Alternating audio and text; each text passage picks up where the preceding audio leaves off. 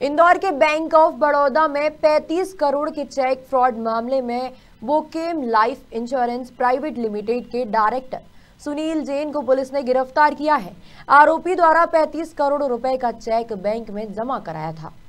मामला खजराना थाना क्षेत्र के स्टार चौराहे के बैंक ऑफ़ बड़ौदा का है, जहाँ एम दस्तूर प्राइवेट लिमिटेड के खाते से आरोपी सुनील जैन ने 35 करोड़ रुपए निकालने का प्रयास किया गया था। के एम दस्तूर प्राइवेट लिमिटेड के संचालक अतुल कुमार को जानकारी लगने के बाद थाने पर इसकी शिकायत दर्ज कराई। शिकायत के बाद पुलिस ने वोकेम लाइफ इंश्योरेंस प्राइवेट लिमिटेड के डायरेक्टर सुनील जैन को गिरफ़्तार किया है। फ़िलहाल इस मामले में और अन्य आरोपियों की भूमिका सामने आ रही है।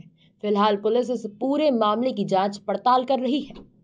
थाना खजराना में जो एक पैंतीस करोड़ के चेक को बनाने का जो प्रयास हुआ था, उसमें जो प्रकरण पंजीबद्ध हुआ था, उसमें आज पुलिस को एक और सफलता मिली है। पुलिस ने सुनील जैन जो कि बोकेम पेरेंटल प्राइवेट लिमिटेड के डायरेक्टर हैं, जिनके द्वारा वो चेक लेकर बैंक में गए थे और उसको बनाने का प्रयास किया था, उनको गिरफ़्तार किया है और उनसे भी हम लोग पूछताछ कर रहे हैं और साथ ही जो चार युवक जो हमने पहले गिरफ़्तार किए थे, जो कि एक एग्रीमेंट के तहत चेक उन्होंने दिया था ऐसा उनको द्वारा बताया गया था।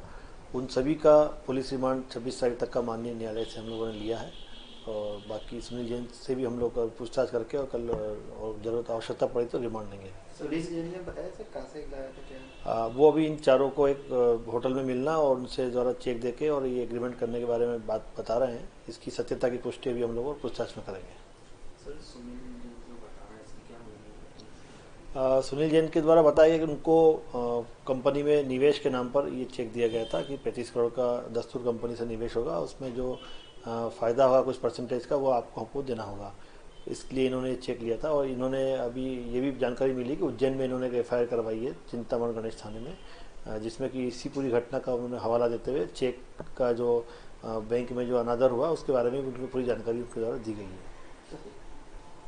अब तक सर इसमें कितने आरोपी और क्या अभी चार आरोपी हमने गिरफ़्तार किए और पाँचवें जो है सुनील जैन को गिरफ़्तार किया। पाँच आरोपी गिरफ़्तार हो गए। अभी आगे भी और किसी की भूमिका के बारे में जानकारी मिलेगी तो उस पर हम लोग कार्रवाई करेंगे। ब्यूरो रिपोर्ट खबर मध्य प्रदेश छत्तीसगढ़।